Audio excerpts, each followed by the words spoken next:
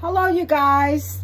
I'm Elizabeth Lyde, host of the Wise Woman Way of Golden Rule Wellness Mission.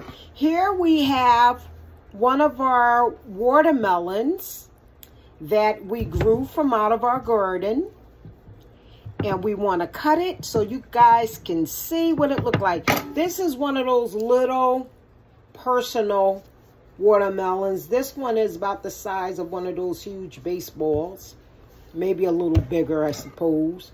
But we see that the stem is dry. So that means that the watermelon is ready to be cut. Okay. So here we go, you guys. I want you to see what's going to look like. Up, oh, let me get the right knife. Okay, here we go.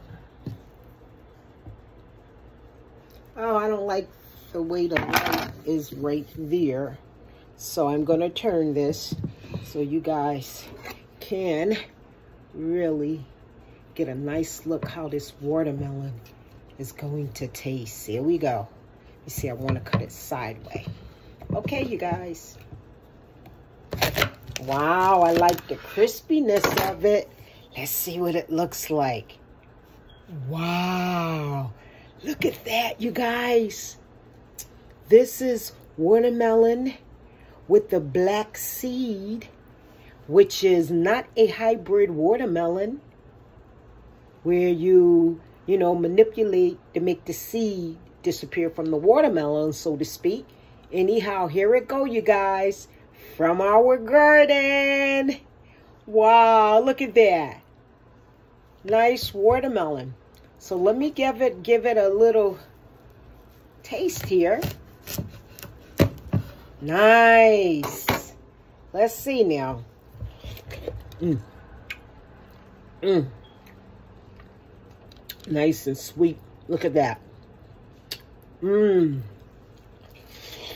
Mmm.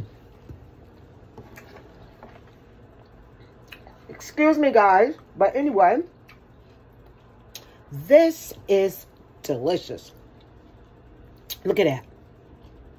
This is grown from our garden, and it's an organic watermelon. The watermelon has not been manipulated in any manner. This is the real deal, so we're going to save our seeds and replant the seeds for next year. And look at how many watermelons, melons that can be. Okay, you guys, I just want to show you this. If you like what we do, this is under our, um, it's not a recipe, but it's under our Fat of the Land um, garden and recipes, you can say.